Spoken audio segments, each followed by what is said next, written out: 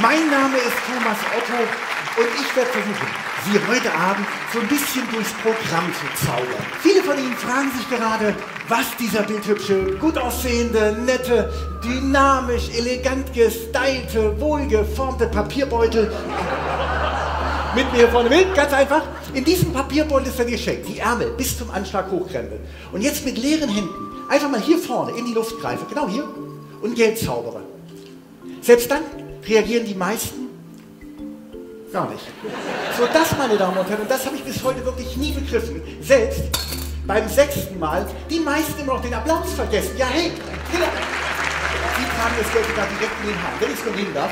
Das nennen wir Zauberkünstler Kopfgeld. Ja, guck mal, hier ist ja richtig was. Hallo, hallo, hallo. Guck mal, hier beide Ohren hier. Dankeschön. Das aber, ja, Sie lachen sich aber auch. Oh Gott, da hängt das ganze Ohr mit dran. Achtung, eins, zwei, und drei und werfen.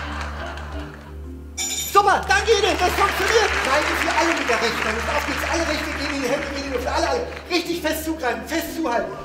Spüren Sie das Geld? Sagen Sie ja, Thomas. Ja. Super, das dürft ihr behalten.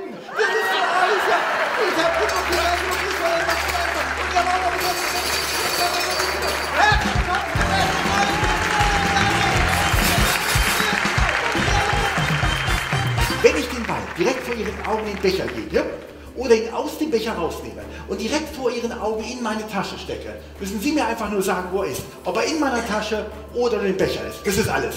Ihn verstanden? Okay, dann legen wir los. Da ist der Ball.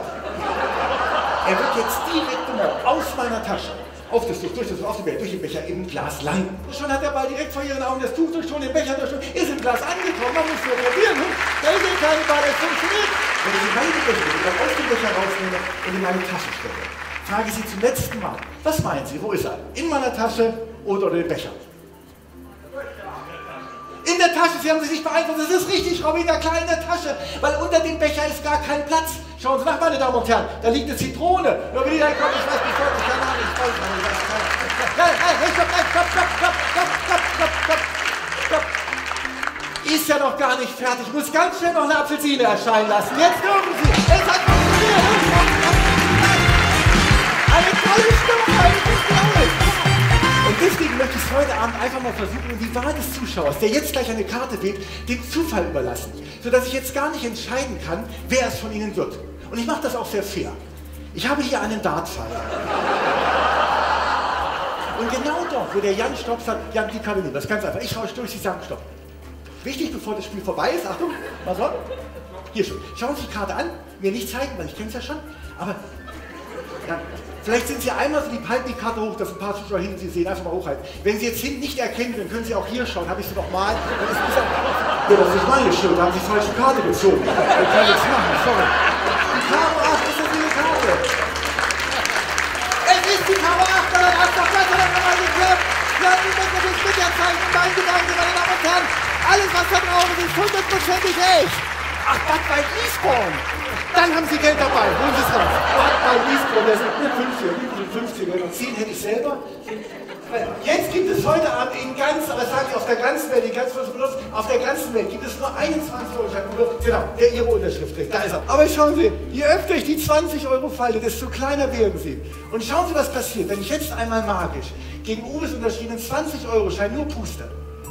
Uwe beim Auffallen verwandeln sich ihre 20 Euro ganz langsam zwischen meinen Fingerspitzen tatsächlich in ein Original 100-Euro-Schein, das mit zwei hochgekrempelten Ärmeln. Da bleibt dann der Applaus richtig im Hals stecken. Ne? Ja, ich krieg das Original 100-Euro-Schein. Das funktioniert. Aber ich spüre Die Frage, die sich gerade jeder hier stellt, ist, hey, ist auf diesem 100-Euro-Schein überhaupt die Unterschrift von Uwe? Uwe, ich komme zu Ihnen, geil, jetzt wird spannend. Uwe, ganz ehrlich, ist auf diesem 100-Euro-Schein Ihre Unterschrift? Nee, ja, dann ist auch nicht Ihr Schein. Das ist doch toll, so beschäftigen wir das ganze Publikum. Ich liebe das. Sigrid gibt mir eine Zigarette, der Nico passt auf die Papiertüte auf, äh, Andreas wartet auf seinen Sack, Uwe auf seine 5 Euro. Jeder ist beschäftigt. Ich kann das stundenlang machen, das macht so Sollte bei dem Kunststück irgendwas schiefgehen, das ist nicht meine Schuld. Die Zigarette gehört Sigrid. Hier einfach auf die Seite. Ganz vielen Dank. Erstmal ganz vielen Dank, dass Sie alle den Spaß mitgebracht haben. Ich finde es toll. 20 Euro verloren, so lustig geblieben. Ne? Das ist nicht immer so. Meine Damen und Herren, mir ganz vorsichtig aus der Tüte eine uninhaltlose Erdnüsse, mit denen ich mich ganz recht herzlich bei Ihnen bedanke. Öffnen Sie die Dose, machen Sie den Pool nach vorn, genau, ziehen Sie den Deckel vorsichtig nach hinten auf. Uwe, ist das ein Geldschein? Falten Sie es auf. Ist das ein 20-Euro-Schein? Uwe, ist auf diesem 20-Euro-Schein eine Unterschrift? Ist das Ihre Unterschrift? Ist es? Zeigen Sie es, dann ist es auch Ihr Geldschein. Es hat funktioniert. Unglaublich.